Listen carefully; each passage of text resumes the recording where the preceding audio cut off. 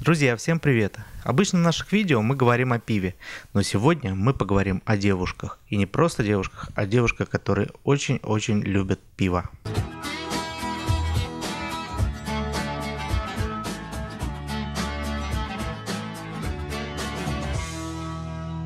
Такое явление, как обзор крафтового пива, начинает набирать популярность в Инстаграме. Неудивительно, что женский пол активно оседлал эту волну. Их страница раскручивается в разы быстрее, чем аккаунты многих бирблогеров мужчин. Первую героиню нашего обзора зовут Юлия. Юлия инстаграм-блогер из Москвы единственная русская девушка в этом обзоре. Фотографии в ее ленте зачастую обыгрывают названия или изображения на этикетках тех сортов, о которых она рассказывает. Рассказывает, хочу заметить, очень подробно и интересно. Ее аккаунт Джулия Сферат активно развивается развивается, и число подписчиков на момент записи этого видео приблизилось к 9 тысячам. Юля также активно общается с российскими крафтовыми пивоварами и наблюдать за ее обзором пивоварен не менее интересно, чем наблюдать за обзором пива. Аккаунт одной из самых популярных инстаграм-блогерш, рассказывающих о пиве, э, называется Babbles Cameron. Количество ее поклонников перевалило за 15 тысяч, а количество опубликованных фотографий приближается к полутора тысячам. Девушку зовут Таня. Проживает она в городе Тампа, штате Флорида, США. Но застать ее дом практически невозможно. Она постоянно колесит по США и во всех местах, где бывает, пробует пиво различных крафтовых местных пивоварен и радует нас фотографиями с этим пивом. Крафти Леди 24 на 7. Как-то так звучит название название странички нашей следующей героини.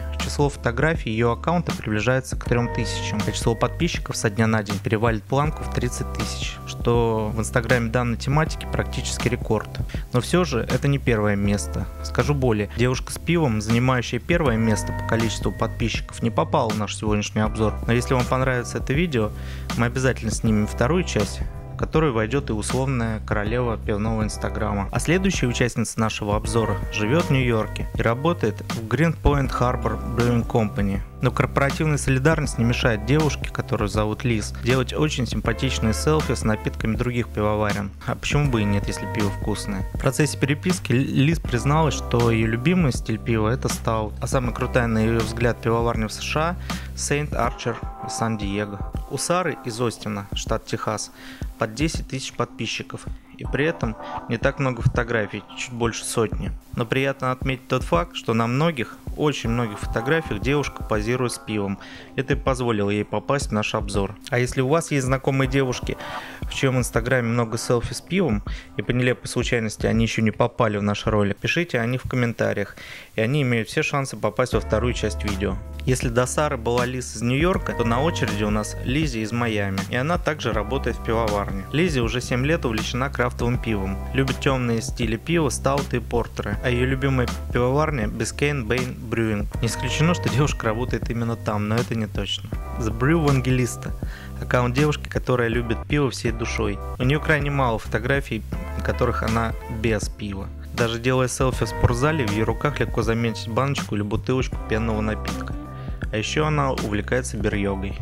Как вы успели заметить, практически все Бергелс обитают в США. Но следующая наша героиня из Австралии, а конкретно из Мельбурна. Зовут ее Марни. Ее работа, как и у многих участниц обзора, связана с пивом. Марни работает в крафтовом баре. На вопрос первой варки, доводилось ли ей пробовать русское пиво, Марни ответила отрицательно но заметила, что обожает русский имперский стаут. На данный момент у нее не так много подписчиков, и если у вас есть желание помочь ей или любой другой участнице нашего обзора, либо всем сразу, заходите на их странички в Инстаграм, подписывайтесь, ставьте лайки. Думаю, девушкам будет приятно. Ссылки мы обязательно разместим в описании под роликом. Из Австралии мы перемещаемся в Польшу и знакомимся со студенткой Магдаленой Анной и ее берблогом Тини Фокси Тейл. На данный момент у нее чуть больше 11 тысяч подписчиков. Ее селфи всегда выделяются в новостной ленте за счет экспериментов с макияжем, а иногда даже с гримом. И вновь в США, на этот раз Коламбус, штат Джорджия где живет создательница странички Крафти Бирмеон и обладательница ярко-розовых волос по имени Мик. Число ее подписчиков приближается к 28 тысячам. Девушка очень позитивно, любит тусоваться и веселиться. Это видно из ее инстаграм. В свое время меня очаровало ее умение после долгой дороги выпить бутылку КБС практически залпом.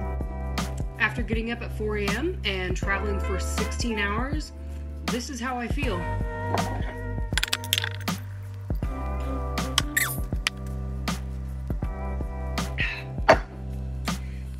Продолжает тему розовых волос Моника. Ее аккаунт Mary Made on Top. Она из Майами, штат Флорида, США. Сама она себе говорит так. Я просто девушка, которая безумно любит пиво. Ее аккаунт насчитывает более 14 тысяч фолловеров, а ее девиз «Так мало времени и так много пива». Ее можно понять. 12 участница нашего обзора Аманда. Аманда из Хьюстона, штат Техас. Она не только делает фотографии с понравившимся ей сортами пива, но иногда делает на них короткие минутные видеообзоры, которые можно найти на ее страничке в Instagram, а также на ее канале YouTube. Девиз нашей следующей героини из городка Морристаун, штат Нью-Джерси, таков. Я пью в двух случаях. Когда меня мучает жажда и когда нет. Видимо, поэтому название аккаунта этой девушки можно перевести как э, «Томимая жаждой блондинка». Завершает наш обзор девушка, живущая в Техасе. Девушка разбирается в пиве не понаслышке, так как помимо всего прочего является домашним пивоваром, что не может не вызывать нашего восхищения.